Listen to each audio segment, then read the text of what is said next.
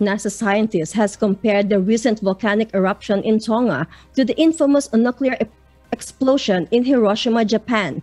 Joselito Liquido will tell us why live. Good evening, Joselito.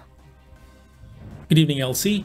After closely studying the pieces of land destroyed by the undersea volcanic eruption in Tonga on January 15, NASA scientists calculated that the volcano's explosive energy was 100 times stronger than the nuclear explosion in Hiroshima.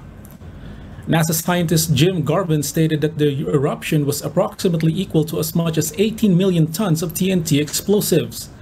This makes the Tonga eruption the most powerful volcanic eruption to date after more than 30 years since the 1991 Mount Pinatubo eruption in the Philippines.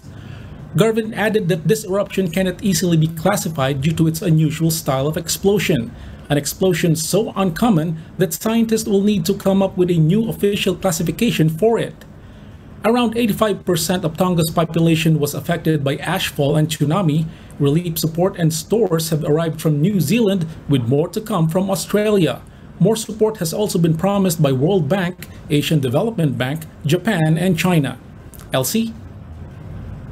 Joselito, do we expect further activity from the volcano?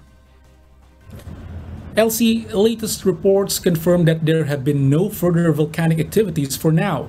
Meanwhile, the government's aim is re-establish internet connections and telecommunications which were damaged by the eruption and tsunami. Back to you, Elsie.